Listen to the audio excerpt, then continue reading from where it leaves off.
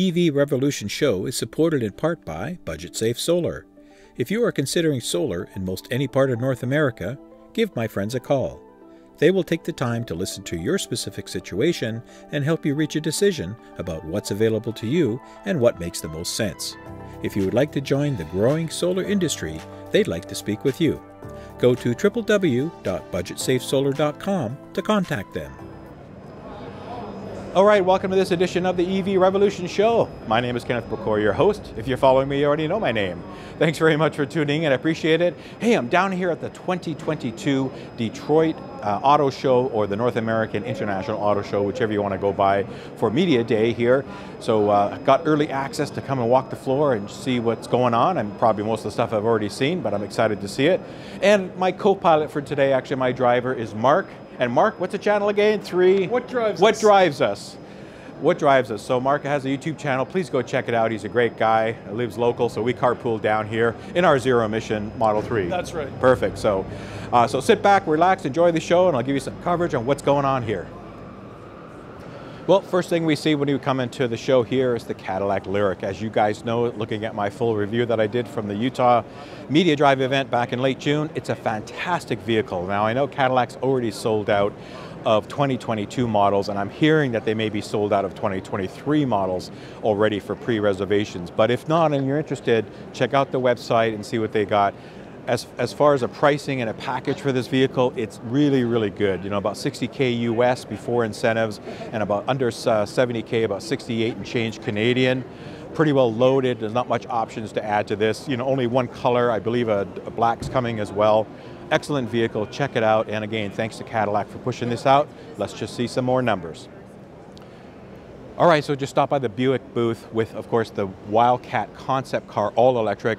Uh, this is not a production vehicle. This is really design language and engineering and all that kind of stuff to be used for future Buick vehicles in the electrification space. Now, we have the President of the United States apparently coming to this building, so they're clearing us out so he can get a private tour. But I just wanted to quickly film this. It's a stunning vehicle in person, folks. I love the design and the language, and I look forward to seeing some of this hit production in future Buick vehicles sometime soon.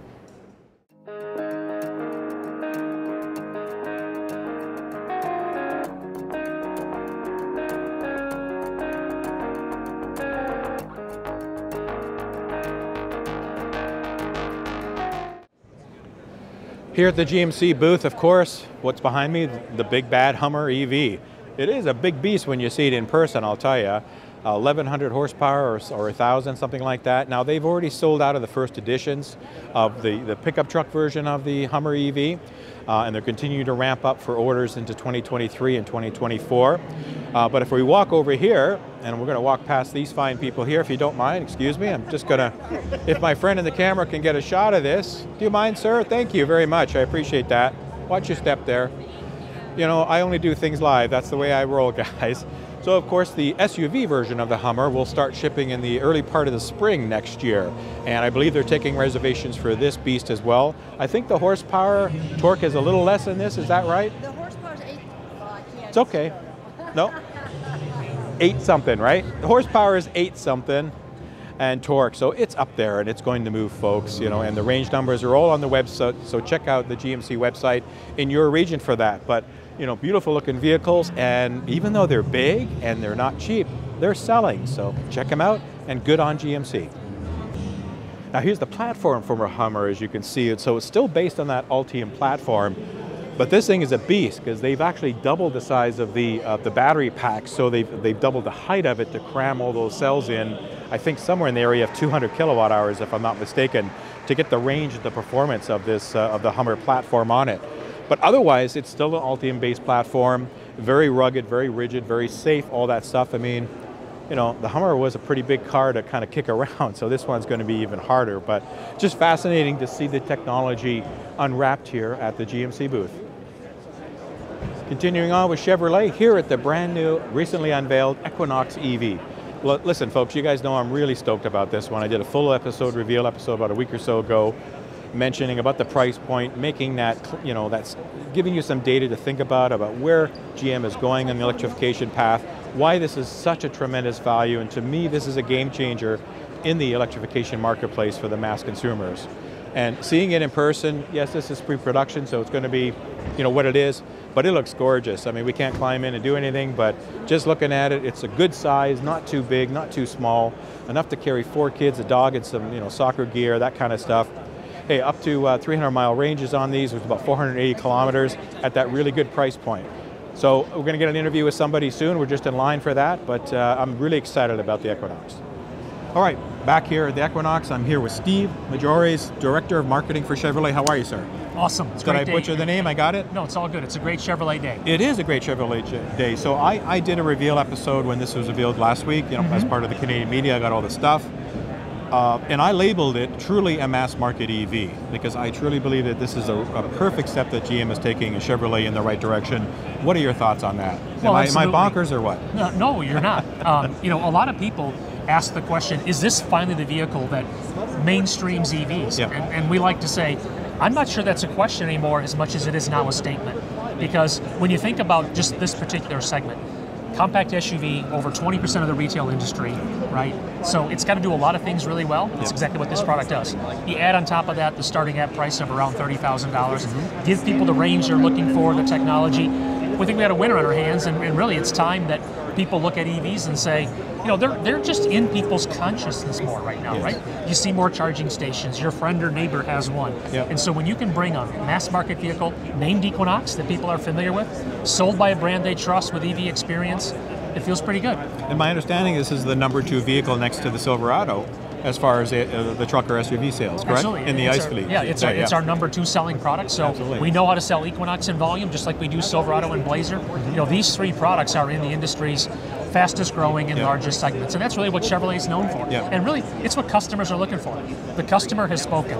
They want SUVs, they want crossovers, they want pickups, and that's what Chevrolet best delivers. So how can you get the price point down to that, that magical 30 or around 30 for a very competent vehicle? You know, we're looking at 240 miles, I think, on the on the 1LT trim or something like Two- that. 250, 250 on the 300. 1LT up to 300. How can you do that? What's the secret? Well, a big part of it is is what the, the benefits of the Ultium platform. And so, I mean, you know the silver bullet here, right? Yep. Cost per kilowatt hour, scale, manufacturing capacity, supply chain certainty. All, all these elements work together, but that's really what Chevrolet has done. I mean, the kind of investments that we've made, um, the kind of things that Ultium enables us to do, and there's a lot of sharing, right? Things that customers don't see. The two battery packs on this product are the same two battery packs, or two of the eligible battery packs on the Blazer EV. Yeah. So think about cost sharing, think about savings. Yeah. The same screen Economies that's of in, scale, things the- like that, yeah. The same screen that's in there mm-hmm. is the same screen that's Yep. in that one over there. It's Yep. the same screen that's in the Silverado. Yep. And so it's dynamic, it's big, but you know, this sense of over developing, let's make sure we got the right products, but where we can give the customer great value and, and make sure that we can do it economically. Yep. And but that's what Chevrolet's always been about. So we have to bring products like this to market. So between Chevrolet, GMC, and Cadillac, I count eight fully electrified vehicles here today on the floor. You know, including the Bolts with, with three here. you Got two Hummers, and you got the Cadillac, all on the GM nameplate. Eight vehicles. The goal is 30, I understand, in the next few years. You guys are well on your way to getting there. Well, we certainly are. We've made a lot of commitments about the number of EVs, about production, uh, et cetera. Look, Chevrolet is, I would like to say that General Motors is kind of unleashing Chevrolet. I mean, we are General Motors volume brand. We're here for share. We're here for scale. We're here to make sure we can meet any customer's need, whether it's internal combustion engine or EV variants. That's what we're doing. We are a big part of General Motors' plans moving forward, but we're in it in the places that matter to customers. And so when you look at things again like Equinox, Blazer, Silverado, and we've even made news and talked about things like our electrified Corvette. Uh, there's a lot in the portfolio, but the story today certainly is the phenomenal success of the Bolt EV and EUV. We had Yes. a record month last month. Excellent. And Good to these, hear. these great new products. And last question, uh, I haven't seen the order books, the reservations open yet for the Equinox. Any idea when that may occur and when, when uh, FCS for these products are going to start? So we actually have not uh, done a reservation program for Equinox. So it was Okay. a bit of a change for us. Yeah. Frankly, we learned a lot. Right. Okay. There's a lot of enthusiasm, a lot of commentary about the number of reservations, what have you. But if you think about what the customer's looking for, what we're going to, what we've chosen to do is have a lot of hand raisers, people we can engage Okay. with, and as we get closer, because for every all the goodness of reservations, you get a lot of frustration, Sure. right? And with Yeah. the with the uncertainty of chips and what and when, Yeah. we, we'd rather say when we've got fidelity on what trim and when and where, then we're going to meet those needs and we'll be engaged with our customers accordingly. And FCS, I understand, is targeted for second half of next year on the 2RS uh, model, is that what- correct? sorry, I- I'm not First familiar- customer ships? Oh, okay, Uh, so okay. late next year, I understand, yeah? Yeah, so so Yep. the Equinox starts, uh, you know, call it fall of 2023. Yep. Uh, we will have one model, but Yep. in the first model year, we'll have the full lineup available. Great. Actually, Blazer starts uh, production, call it July of That's next right. year. Silverado, the fleet variant, Yep. starts in March or April or so, Mm-hmm. with the retail version in the fall of next year. So all three of these vehicles in production and on sale next year. A lot of EVs sit in the street, and I understand that the all three are being built in Mexico. Is that correct, including Equinox? Uh, I'm not Equinox sure. and Blazer are Mexico, Yep. and Silverado is uh, here outside of Detroit. That's so right. Factory And Zero Tramit, right? And Yeah. Orion we've also announced for truck production as well. And of course, continuing with the Ultium battery. That's your, you know, the bread and butter for all this, Well, right? the Ul- Ultium is, is, Yep. the, is the is the Ultium enabler here, right? Exactly. And so again, a purpose-built platform. Yep. Decided to make the investment to make sure that it's not just the batteries and the packs, it's the drive units, it's the reuse, and it's the expandability, modularity. You can stack cells this way, you Mm-hmm. can stack them this way. You can have a single stack, you can have a double stack. So the investment that's been made to enable products like a Hummer to an Equinox and all points in between, uh, we like our chances. Excellent. Well, it's all great news from GM. Wish you guys the best of success. Thank you very right, much for your thank you. time. All right. Take care. Thank you. All right, still at the uh, GM Chevrolet booth. It's the one with the most EVs, folks, I'm telling you. So here behind me is obviously the, belle of the ball, the Silverado EV. This is the top spec version, the RST, which will be the first one that they're shipping for 2023. Beautiful pickup truck. Again, it's a game changer when it comes to the pickup truck world. You're going to say, hey, what about Cybertruck? What about Ford 150? Well, Cybertruck isn't here, and it's not coming for a while. The 150 is shipping, but remember, the 150 has batteries and electronics that's packed into an existing uh, apparatus and layout.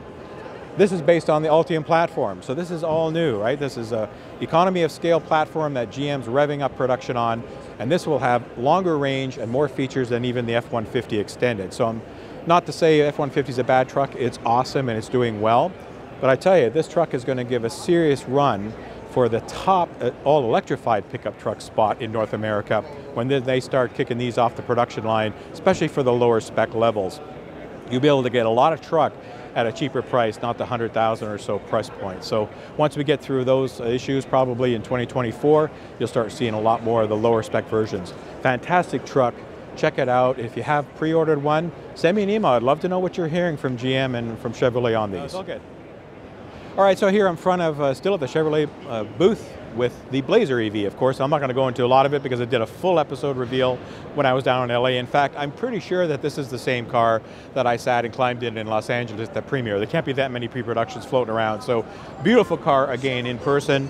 Really, really nice. You saw, check out my video for all the details and information on this. But again, you know, I'm staying at one manufacturer's booth and I'm just coming across EV after EV after EV. It's got to be something there, folks. You know, think about that.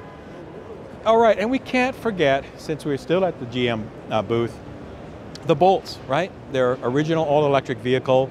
They did very well with the Volt as a V. Obviously, I think they cut it a little bit too soon, but you know, decisions are decisions. They need the money to fund this stuff.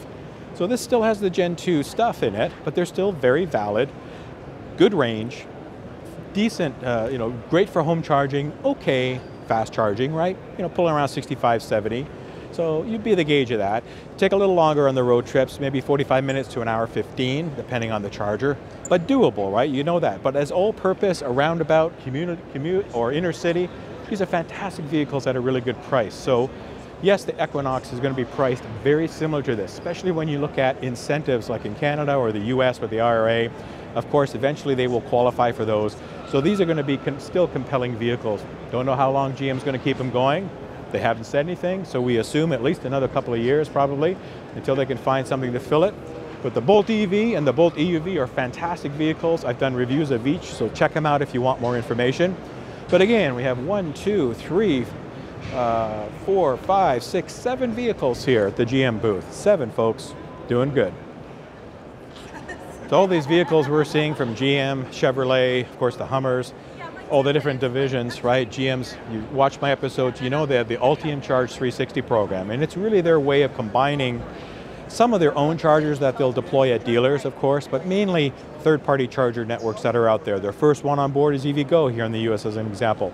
but they'll go after EA, they'll go after ChargePoint, they'll go after all the major North American providers eventually and get them into one umbrella. And what that umbrella is going to look like is that you can go up to any of those partner charging networks and just plug in. All the payment transactions going to be done in the background right? GM is going to be the handler for that payment information and they will distribute the funds to the proper charging provider. That's my understanding how it's going to work. Once you set up your, your account with GM, and I think that's done through OnStar or, or the My Chevrolet app features, uh, you'll be able to do that. So it'll be a, you know a Tesla-like experience where you just plug in, go do your thing and come back, right? Use your app to monitor the state of charge. So that's what the Ultium uh, Charge 360, and of course they have home-based charging, so I think in some areas GM is, is either giving some credits towards a home charger, uh, or throwing in some, or giving some credits towards the installation of one. Your, your range is going to vary depending on what region you're in, but you can check out details there. And it's really to help provide access to charging with their mobile app and adding the pro products and services that you want as a consumer. So I sound like a commercial for them, but I'm not. I'm just reading what they have here, folks. They are really going after the consumer market, and that's what I'm trying to get across to everybody, right? You know, based on Ultium, right? Here's a platform that can scale. I can use it for what do we have? One, two, three, four, five, six, seven models here on the floor from GM, right? Seven fully electrified models, all using this platform, just different configurations of it. So scale, ease of use, and to be able to crank those units out the way we need it. So check them out if you haven't uh, uh, heard anything about GM, look at all this stuff and make your decision. All right, so you've heard me talk a lot about GM. Let's change booths to Ford, right across the street here from GM. Of course, the Mach-E, doing fairly well for Ford, right? They've got some issues, some recalls, things like that, but it's okay. They're muddling through, you know, it's a fantastic vehicle. I've done a review, on this one, so check it out. Good to see the Mach-E, and of course the F-150 is here. Just got a quick ride in it, so here's that video with that ride. It's just a short kind of 30 second loop where the guy guns it, but it's fun, you'll get a kick out of it. Definitely, you know, holding in the tradition of the number one selling uh, uh, pickup truck in North America with the F-150. It's a great truck. Like I said earlier, I think GM with the Silverado is going to challenge that, but we got to wait till numbers get up there in production for that. But certainly Ford is doing well with these products. Let's just hope they start building some more and get them out there. Welcome to Lightning. Thank you. This is the uh, F-150 Lightning. It's the Platinum, if you notice. So it's got yep. all the nice fit and finish that we get out of the out of the premium series. It's a dual motor truck. It's got yep. one in the front, one in the rear. Makes about 550 horsepower and about 750 foot-pounds of torque. Nice. Uh, as being an older guy, you know, I set points when I was a kid, so I've, I've, I've experienced it at both ends. This, the great thing about these mm-hmm. is it's all torque. Did you eat your lunch yet? Yes. We try to get you on this before you have a corn dog. Did it come back yet?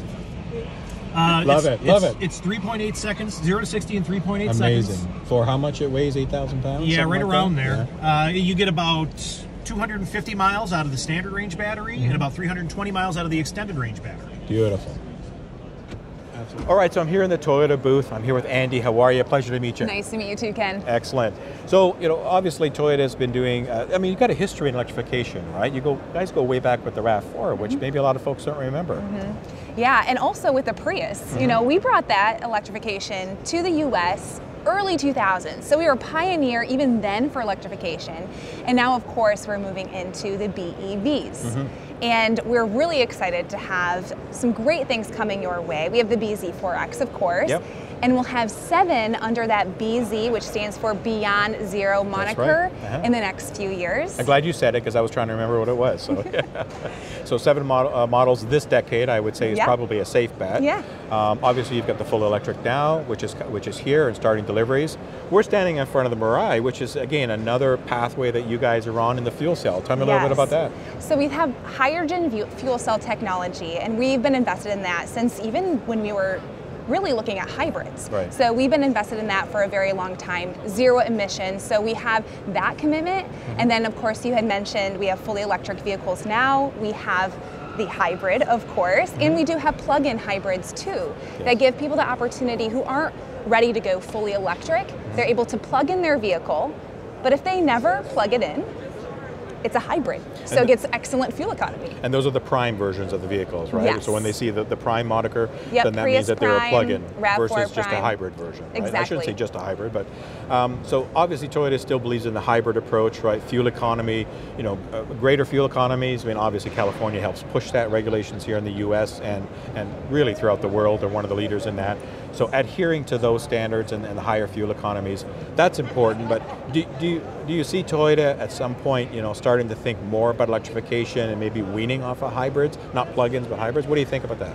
I don't like to No time speculate. Yeah, I don't I like to speculate because there is a lot of brilliant minds that go Yes. into it, and I am so thrilled with what we've been able to do so far to give mm-hmm. people, of course, the hybrids very early on, Yeah. and people love the hybrids, Yes. and that technology has really taken off. And then now, as we're getting into fully electric vehicles, and we're hoping that the fuel cell is adopted more throughout the country, Right. uh, we, we're really committed to all of those things.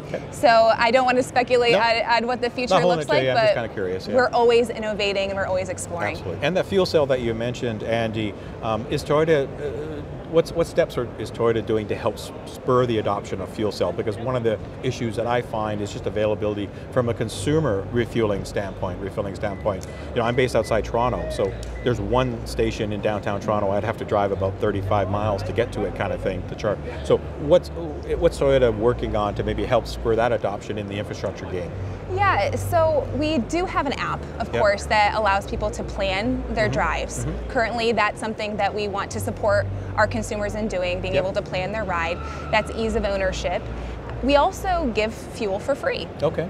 And an we want, yes, we like to give the hydrogen for free. That's an Okay, incentive because we want people to uh, just know be, without knowing what the prices may be Sure. of the hydrogen. So Okay. that's another way that we're trying to spur it on. Mm-hmm. And um, yeah, I, those are a couple of the ways. Okay, so obviously that will continue to get deployed, hydrogen refilling stations, you know, based on demand, based on area. on- yeah. Obviously West Coast, some of the states, right, the, the ZEV states, uh, BC, right, the Vancouver area has got a few, so it seems to be adopting.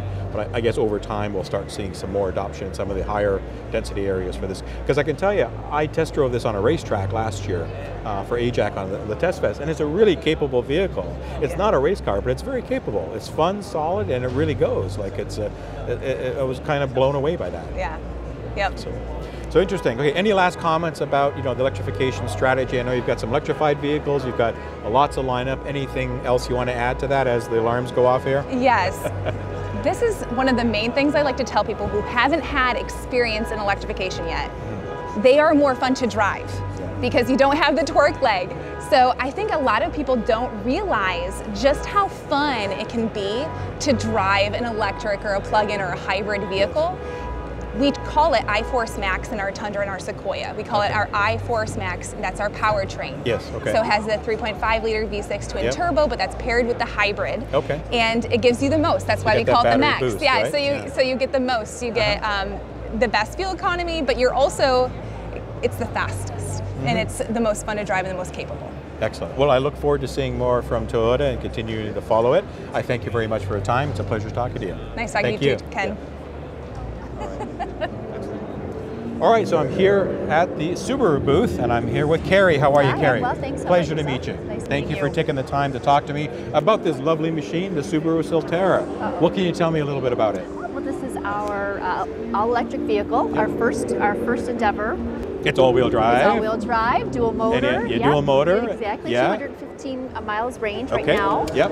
Um, Is there anticipation to have an increased capacity later on at, at some this point, I'm not sure. Not sure? Yep, Okay. Not, not sure. But 250, 250 or 215? 215, Yep. correct. Um, you know, I, I saw one of these up in, I'm from Canada, so I saw one of the prototypes up in Sudbury a few months ago. Looked great. I couldn't get in it, so I'll Ah. climb in and get some B-roll. But how's the feedback so far been from your client base on this product? Absolutely wonderful. It's, Yeah. Mm-hmm. it's a Subaru through and through. You know, it's got a great feel to it. It's very comfortable ride. It's very, if you look at the interior, it's very user friendly. Mm-hmm. Wonderful. Yeah. So you guys are really satisfied with your first foray, foray into the elect- I can't speak, it's been a long day, into the all electrified marketplace. Absolutely. And um, seeing some good uptake. I, I'm trying to remember, are you guys open for reservations already and that I kind think, of stuff? I think on, online you can definitely put your, your name on a list. So there's a waiting list reservations, and my understanding is that you hope to have first customer ship dates by the late part of this year or definitely into 2023. Is that correct? That's what I'm understanding. Yes. and is that starting in certain states first, like ZEV states, or do you have any, any idea how that rollout might happen? I'm aware of, honestly. Yeah, no problem. Uh, I know they're coming to Canada because, like I said, I've seen some there, so that's good. Um, in, and in what you know about the, the organization, you know, this is Subaru's again first first entry into the all-electric marketplace. Where does the company want to go with that? Any idea? Well, from what I understand, I mean, this is definitely something that all vehicle, all the manufacturers are, are, are leaping into, and this is being our first. Um, I don't think it'll be our last. Excellent. Definitely. So definitely, you know, this decade strategy about looking at more electrification in some form or fashion. I would. Um, probably based on, on how this thing goes as well, right, and then go from there. But certainly a solid build, very lovely vehicle. I kind of like this better than the Toyota one, to be honest with you. But you know, because Carrie's standing next to me, I'm going to say that. Any final thoughts you want to leave with viewers about Subaru and the EV landscape? Um, No, did I ask all the right questions? I've stumped the panel here. You definitely. That's why I do these one take, guys. You guys know this. I do this. Well, listen, I appreciate your Oh, time. You're wonderful, Carrie. Oh, well, I know it's you. first day and I'm already making her life miserable, I tell you. I appreciate it. Thank you Thank very you much. so You've been great. Yeah. Absolutely. Thank you. Take care. All right, stop by the Stellantis booth here at the Detroit Auto Show. And of course, uh, Jeep is where a lot of electrification is happening so far. Of course, the Chrysler branded Pacifica is over there. We've got the uh, Wrangler 4XE, so anything with the 4XE model or line means that it's a plug-in hybrid. It's got some battery pack to take you some distance in uh, all-electric mode. It could be 25, 30, 35 miles, somewhere in that range. Uh, so, you know, 40 to 50 kilometer kind of thing. Um, you'll see I did a review on the, the Wrangler 4XE, so check that out if you want more details. Here we have, of course, the uh, all new Cherokee, Grand Cherokee, that's coming a 4XE version.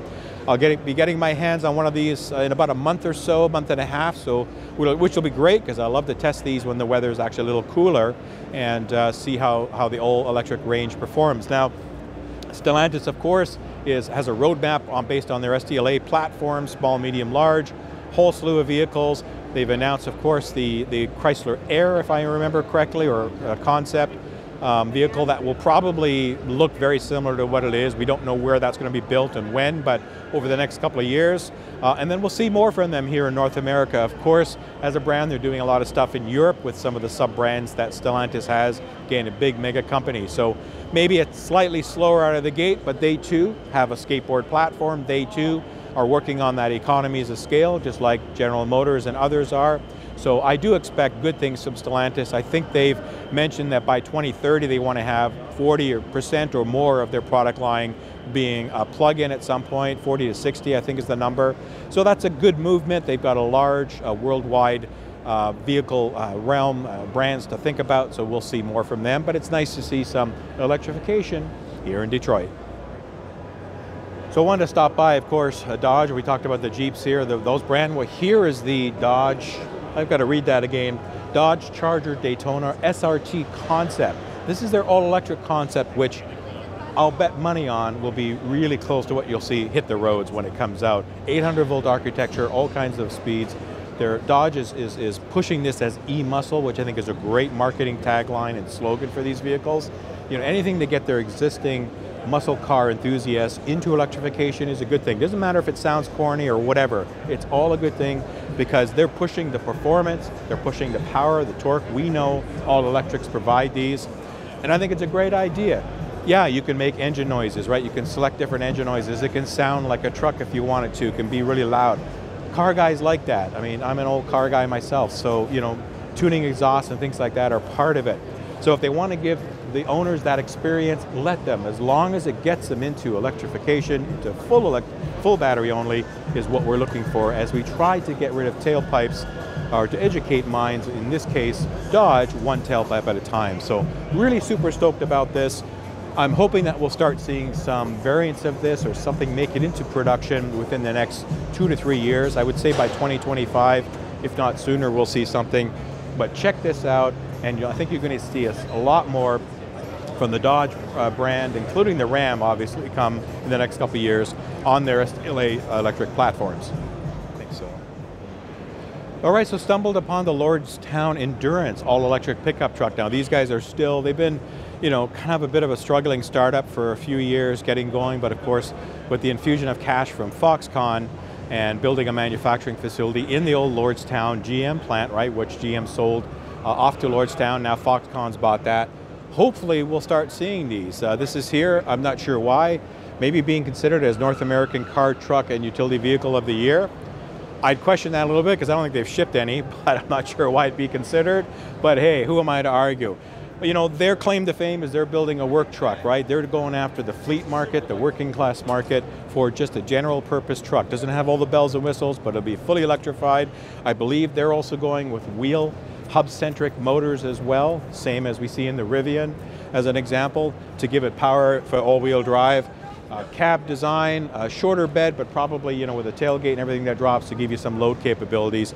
I'm sure power and vehicle uh, to grid uh, technology and that kind of stuff to power small work appliances and things like that, tools and things like that. So interesting, you can check out their website for more info.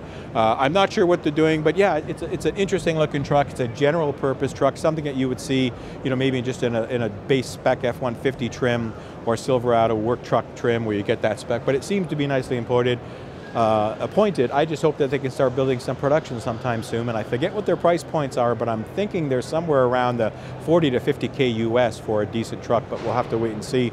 Check out their website and get more info. Well, almost wrapped up watch, uh, walking the show, and what do we find here? Did you know that this is the first zero emission vehicle that was ever built? The Fred Flintstone Mobile, right? Zero emissions, there's no gas in it, no electricity, you know, the only emissions would be if you had too many beans the night before. That's the only emissions that you'll get out of it. But hey. What about the brakes, Ken? Well, the brakes are going to be very manual and uh, very only once only emergency use. And then you're toast. Exactly. Fun stuff though.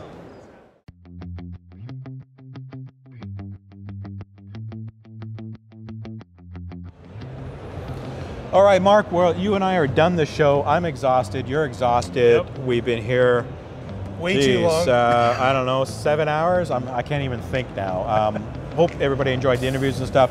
What's your takeaway on this show? What did you see? What it's you an like? impressive show. It, Yeah. It's large. It's uh, it's interesting. Um I'm impressed with what GM is putting out. Mm-hmm. Um, have to say it. Number of vehicles finally starting to arrive. Yeah. Looking like uh, they're going to start producing them, start selling them. Uh, that's a plus. And the other thing is we're seeing all the other manufacturers starting to get involved. They may Exactly. be coming in with their first entry, but you got to start somewhere. So it's good to see that electrification starting to spread across the entire industry. Yeah. The one thing we were talking about when we came in was every year we go to these car shows in Toronto or here or whatever ones we can get to, and we see more electrification, right? Before it's two cars in a corner somewhere. And now, you know, almost every booth has some story to share, whether it's hybrid because they consider that electrification, Yep. or plug-in or full electric, right? It- you know, we're starting to see more of that. So as you said, GM's helping to push the yardsticks. I mean, Tesla isn't here because they don't need to be here, right? That's the, they do their own thing. But, Exactly, You know, it's, it's nice to see these guys, and you know, folks, it costs money, a lot of money for these guys to come here and ship cars and bring cars and have people to talk about it. So, you know, some of the stories maybe, uh, you know, not. We'd like to hear more, but it's good that they're here. It's good that they're talking to people about electrification. And, And, and they were they were up front. Everybody pushed their electrification up front True. of the booths, Yeah. which is a change from a number of years ago Right. when it was at the back Yeah, and it wasn't true. talked about as much. That's true. Hard, you know, a few years ago, it's hard. You couldn't get an interview with anybody to talk about anything Yeah. with a plug, right? They go, uh, "Sorry, nobody's here," so they didn't want to talk about it. Now we had no problems finding people and getting people to talk about it. So, very good point. So, would you come back again for 2023 at some point? If maybe. Yeah, we'll see. Yeah, I would see that. Yeah, I would come back if it doesn't conflict with anything. It's always nice, uh, you know, to see this in Toronto. It- or it's nice you know, that they moved us to a summer venue Yes. over the, the winter. Correct. That's true. Detroit ain't no fun in January. It It's, ain't no uh, fun in Michigan in January. Not, not much fun in Toronto then too, but I hear you. September's okay. Unless you love snow, it's all good.